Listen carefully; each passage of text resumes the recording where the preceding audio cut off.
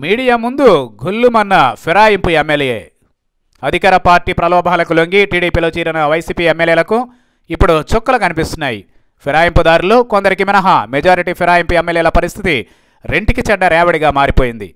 ఆ జాబితాలో కడప జిల్లా బద్వేలు ఎమ్మెల్యే జయరాములు కూడా చేరిపోయారు.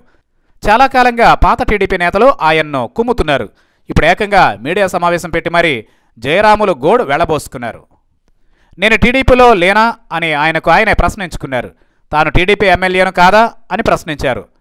బద్వేల్లో మీడియా సమావేశం ఏర్పాటు చేసిన ఫిరాయింపు ఎమ్మెల్యే జయరాములు తాను నియోజకవర్గ అభివృద్ధి కోసమే టీడీపీలోకి చేరానని స్వార్థంతో ఏమాత్రం కాదని అన్నారు. కానీ టీడీపీలోని ఒక వర్గం నేతలు తనను పని చేయనీయడం లేదని వాపోయారు. పేరుకు ఎమ్మెల్యే అయినా పెత్తనమంతా మరో వర్గం చెలాయిస్తోందని ఆరోపించారు. నియోజకవర్గం అభివృద్ధి చెందకుండా ఆ వర్గం అడ్డుకుంటోందని విమర్శించారు. జిల్లా టీడీపీ నేతలంతా మాజీ ఎమ్మెల్యే విజయమ్మకే మద్దతు ఇస్తున్నారని జిల్లా అధ్యక్షుడు కూడా ఆమెకు వంత పాడుతున్నారని దీని వెనుక ఆంతర్యం ఏమిటని ప్రశ్నిస్తున్నారు. తనను ఒక మనిషిగా కూడా పార్టీలో గుర్తించడం లేదని జయరాములు చెప్పారు. బద్వేల్ నియోజకవర్గంలో ఏడు సబ్ స్టేషన్లు మంజూరు చేయించామని అయితే తనకు తెలియకుండా సబ్ స్టేషన్లో నియామకాలు జరిగిపోవడం చూస్తే తాను టీడీపీ ఎమ్మెల్యేను కాదా అని ఆయన ప్రశ్నించారు.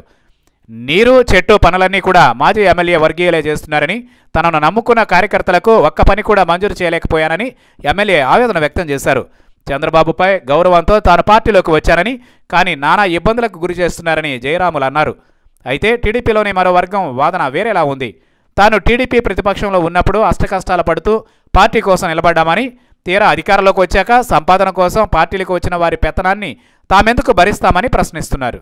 మొత్తం మీద నమ్మి టికెట్ ఇచ్చి గెలిపించిన పార్టీకి వెన్నుపోటు పొడిచి టీడీపీలో చేరిన జయరాములు పరిస్థితి ఇంత దారుణంగా ఉందన్నమాట.